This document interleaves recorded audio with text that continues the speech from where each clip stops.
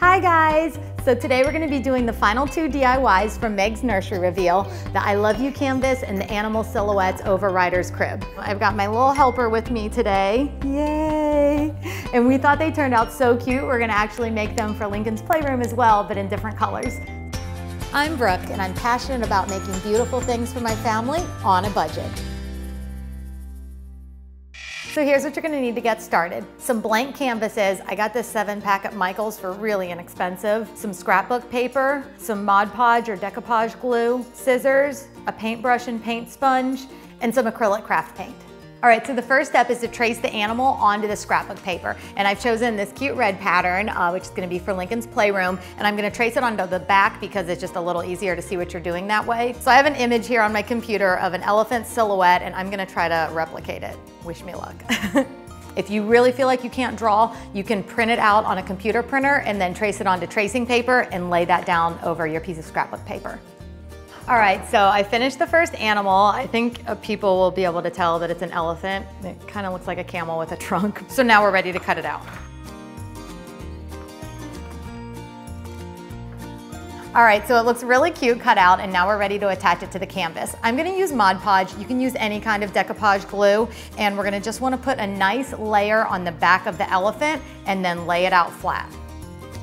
So once you have the back covered, you're gonna wanna lay it down and get the placement right. It dries pretty fast, so you wanna try to do that kind of quickly. Get all the bubbles out, and then you can go back around the edges like I'm doing here. If it's starting to lift, put a little more glue under the edge of the paper and then smooth it down. Now we're gonna let this sit for about an hour so that it's completely dry before we put our final coat on. All right, so the elephant is dry. There's no bubbles or ripples, which is what we wanted, so I'm really happy about that. And now we're gonna paint our final layer of Mod Podge to seal everything together.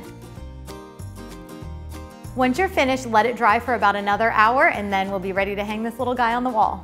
Look how cute this turned out. The thing I love about these is that you can customize them to any nursery. You can do any color, any pattern, and they just really pop on the wall.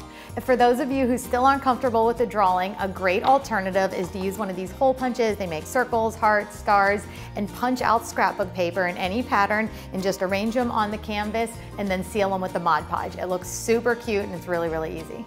So now we're gonna do this I Love You canvas. I originally saw this on the website allmodern.com, but it was anywhere from 60 to $200 depending on what size you got, and I thought, I bet I can make this. So the only additional supply you're gonna need is a stencil, and this is one of my DIYs, don't do it yourself. Um, I ordered mine on Etsy, it was $5, I ordered three of them. So the first step is to peel off the backing of the stencil and attach it to the canvas.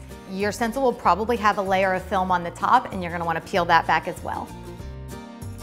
Now we're ready to paint. You do want to make sure that all the letters and the edges of the letters are completely attached to the canvas so that your paint doesn't bleed. I did Meg's with a really pretty cobalt blue, but today I've chosen a basic black just because I like the simple black and white. So you're just going to want to take your paint sponge. I like these little round ones. I got them at Michael's and just gently dab it over the letter. Make sure it's completely covered, but you don't want it to be too heavy because it can bleed or it can peel off. All right, we're all dry and now we're ready for my favorite part, which is peeling off the tape. I guess this counts as tape. Don't worry if it looks a little odd when you're peeling back the stencil. The insides of the O's and the E's will still be attached to the canvas and you'll have to remove them individually. All right, and we're done. I think this looks so cool and modern. That wraps up all the DIYs from Meg's Nursery Reveal. Tell me in the comments below which one was your favorite. Thank you so much for watching. Don't forget to subscribe and I'll see you next Friday. Bye.